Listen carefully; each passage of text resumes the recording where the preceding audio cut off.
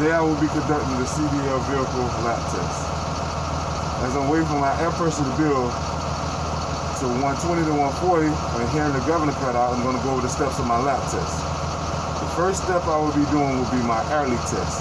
I will hold the brakes for one minute and I should not lose no more than 3 psi. My second steps will be my warning device test. I will pump the brakes and my warning devices should activate before 55 psi. My last step will be my emergency spring brake test. I will continue pumping the brakes and approximately 40 psi, my emergency spring brake should pop out.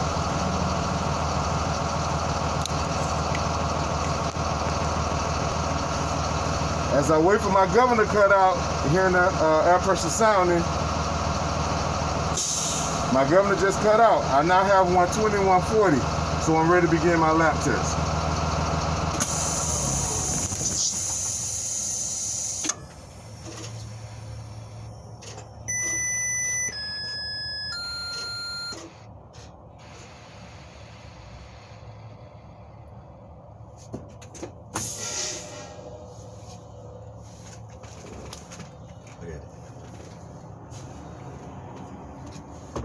My first test will be my air leak test. I will hold the brakes for one minute.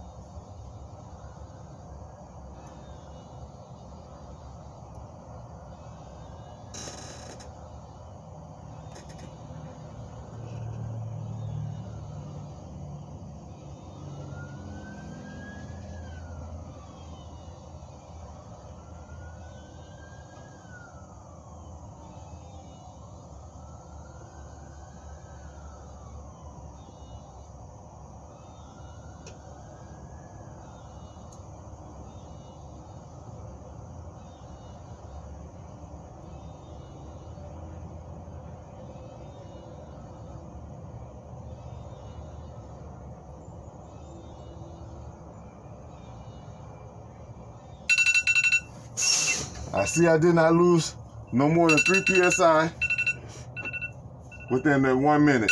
So my pressure is holding. Slow down, slow down.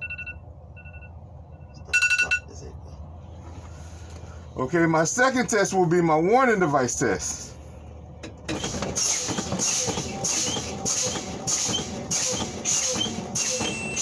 My rear warning device have activated. My front warning device have activated. They both have activated before 55 psi, so it's working properly. My final test will be my emergency spring brake test.